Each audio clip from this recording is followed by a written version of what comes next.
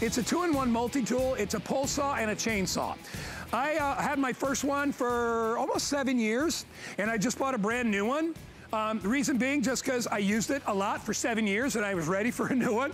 Uh, just, just because it was getting kind of beat up. It still worked, but I wanted a brand new one and I love it. So I actually gave mine to my neighbor and they love it as well, but I got a brand new one. Why do I use it? Well, first of all, because it does everything that, that I normally would have to pay to do, right? Trim the trees, trim the branches, low-lying branches, things that are hanging over the house from the wintertime, and having that extra eight-foot extension pole means that I will never have to get on a ladder. Don't ever get on a ladder with a chainsaw unless you are a professional, all right? So what's nice about this, and you can articulate the head so you can angle it, you can get those big branches that are hanging over your house. You can trip, you know what I did this year? I've done every year? I trim my own Christmas tree. I take my I take my Christmas tree home and I cut a fresh cut off the bottom. And then at the end of the season, I cut my tree up and I use it as firewood. Do you know why I can do that?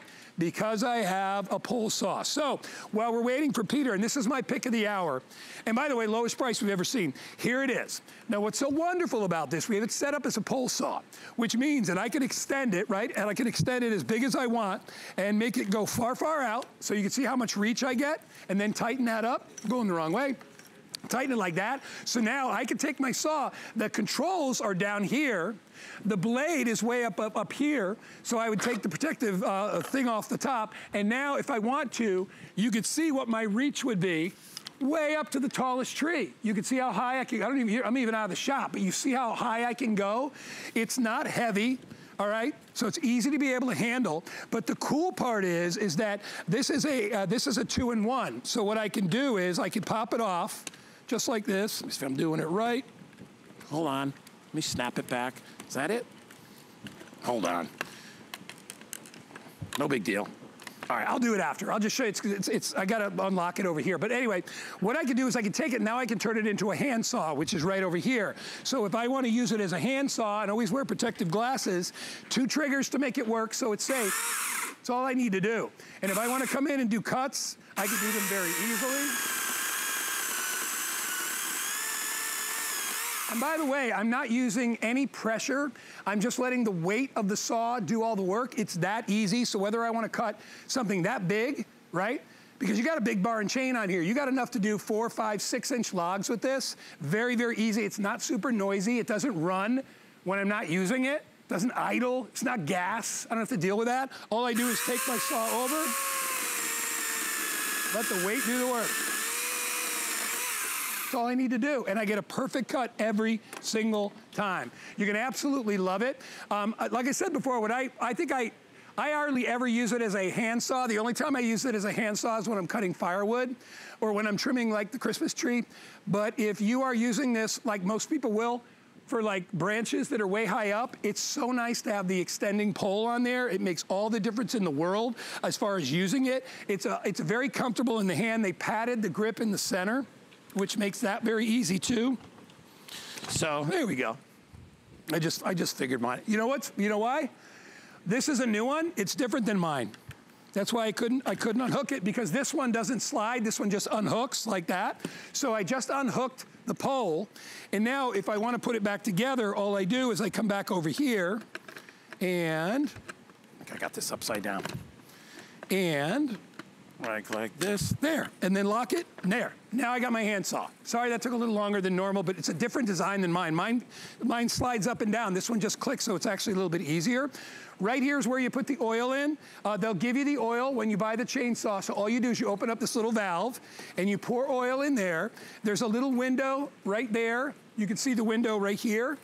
So that'll fill up with oil, and what that is for, that will actually lubricate this, uh, the bar and chain when you're using it. So that'll allow for the chain to go very smoothly. It'll lubricate the chain as it goes. So that's a really, really nice feature with it as well. So get it on, you're gonna love it. We're trying to get Peter here. We don't have Peter.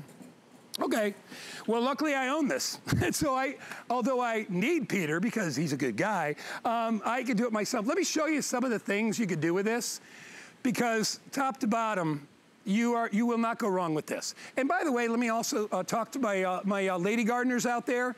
Um, if you're concerned that this, you know, this is too big and you gotta be a big strapping guy to use this, you're wrong, okay? This is the easiest thing you will ever use. It weighs less than, uh, let me see, let me get the exact, weighs 12 pounds. All put together, it only weighs 12 pounds. So it is so easy. And again, there's a little lock on top. And you know what's cool too about this one as well is that you can articulate this one. There's a little knob on the pole right there. You, you push that down and that allows you to articulate the saw in any direction. So if you're going up over a tree and you want to angle it, you can actually angle it up or you can angle it down. That's a really nice feature as well. And if you are nervous at all about a chainsaw, remember, keep it like, keep it like this. Use it as a pole saw. That way you'll never be close, your hands will never be close to the blades. They'll be at least six, eight feet away from you. so it'll be very, very easy for you to be able to utilize that. And remember, no ladders. You never have to, you know, here's the thing. I've had guys, you know, professional guys come to my palm trees because they're like 40 feet up and they'll trim all the fronds. They have a truck to do that and a, you know, and a bucket on the truck. And then some of the guys will use a ladder. They're professionals. So let them do that stuff.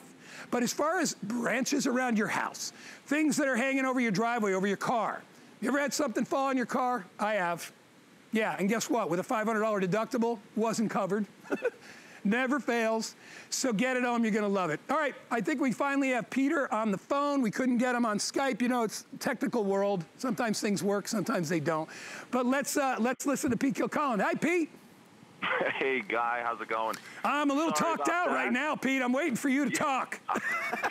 well, I, I, heard some of you, but I missed some of the others. All but, good. Uh, I can tell you, you know, you and I are out here a lot talking about the pole saw by itself, which is so great. But when we start talking about two and one, that you can do both with this uh, two and one pole saw and change back and forth in under 10 seconds, that is a win for sure. Take us through some of the things that you use it for.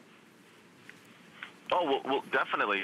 I heard you talking a little bit about the car, but for, for me here is the, uh, the oak trees that get really low and start to hang down right near the front door, right? So you, your house starts to look really kind of, uh, you know, pinned in by all these trees hanging down, and then you've got constant cleanup from leaves and things.